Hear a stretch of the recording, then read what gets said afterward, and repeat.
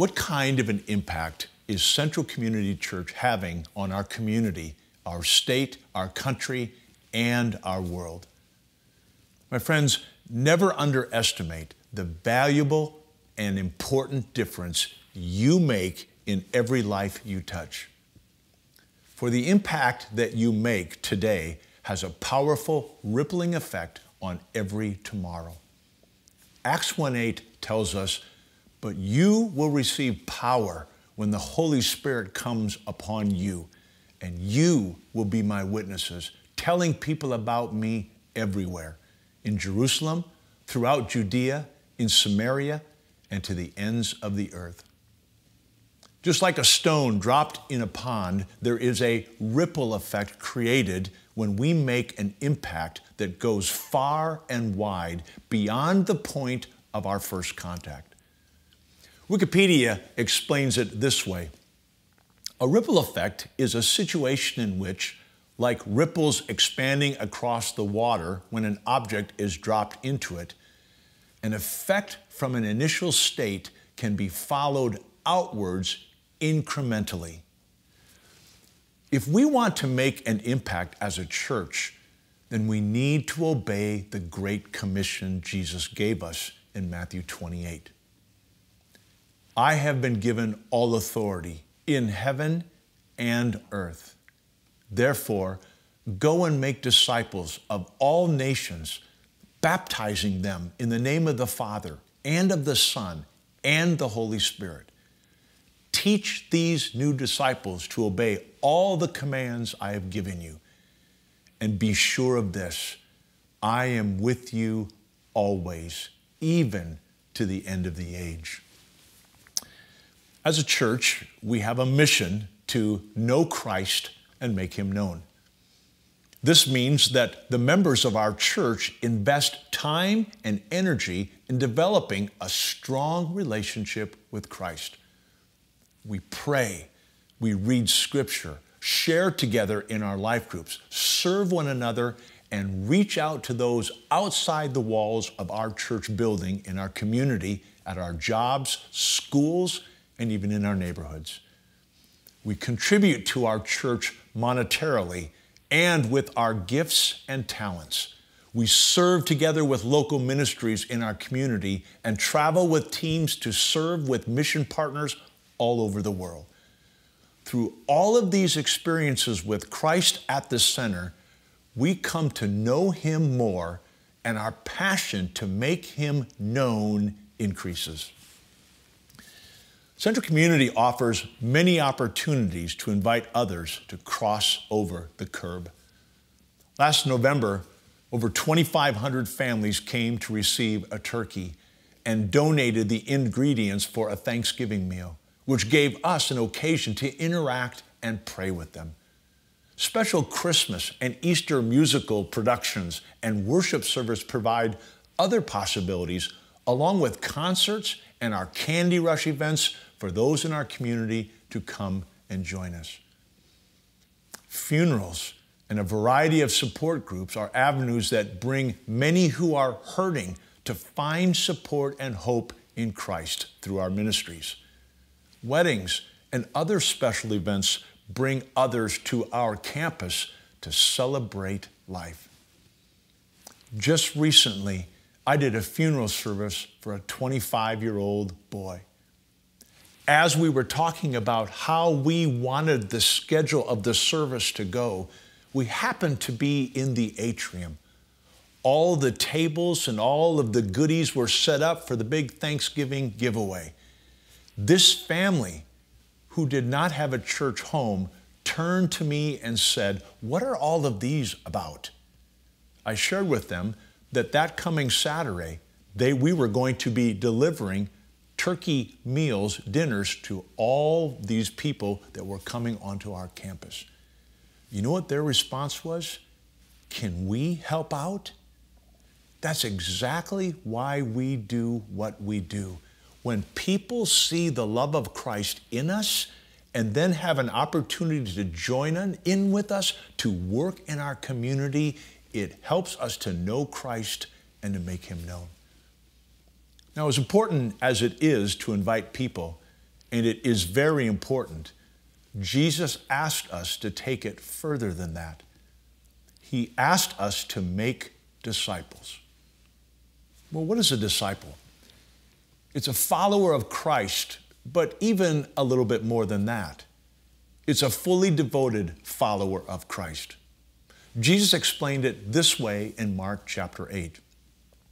Then, calling the crowd to join his disciples, he said, If any of you wants to be my follower, you must give up your own way, take up your cross, and follow me. If you try to hang on to your life, you will lose it.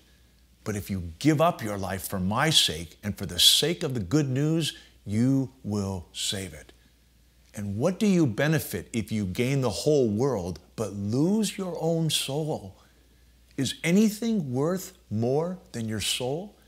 If anyone is ashamed of me and my message in these adulterous and sinful days, the Son of Man will be ashamed of that person when he returns in the glory of his Father with the holy angels.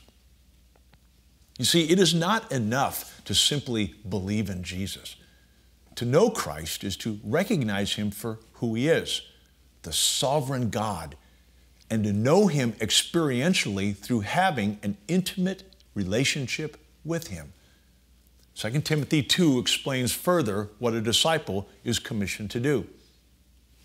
You have heard me teach things that have been confirmed by many reliable witnesses. Now teach these truths to other trustworthy people who will be able to pass them on to others. Know Christ and make him known. Making him known leads to discipleship. When we introduce someone to Christ and they fully surrender to his lordship, we have impacted a life for eternity. We can continue to do this one by one, helping each person mature in the faith. If we lead one person a week to Christ, we will add 52 new believers to Christ's family each year. And after 10 years, at that rate, we would be very busy discipling 520 converts if none of them fell away. But instead, if we disciple each person that we lead to Christ to lead and disciple another one who will lead and disciple another, we multiply our efforts and make a huge impact for God's kingdom. If we only lead two people to Christ per year and disciple them to each lead and disciple one more, we will have multiplied our efforts through others, and in 10 years, we will have 1,024 disciples. Pretty amazing, isn't it? It is a picture of Matthew 13, the seed that fell on good soil represents those who truly hear and understand God's word and produce a harvest of 30, 60, or even a 100 times as much has been planted.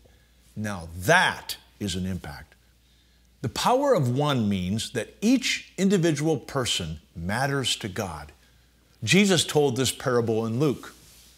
Many dishonest tax collectors and other notorious sinners often gathered around to listen as Jesus taught the people. This raised concerns with the Jewish religious leaders and experts of the law. Indignant, they grumbled and complained, saying, Look at how this man associates with all these notorious sinners and welcomes them all to come to him. In response, Jesus gave them this illustration. There once was a shepherd with a hundred lambs but one of his lambs wandered away and was lost. So the shepherd left the 99 lambs out in the open field and searched in the wilderness for that one lost lamb. He didn't stop until he finally found it.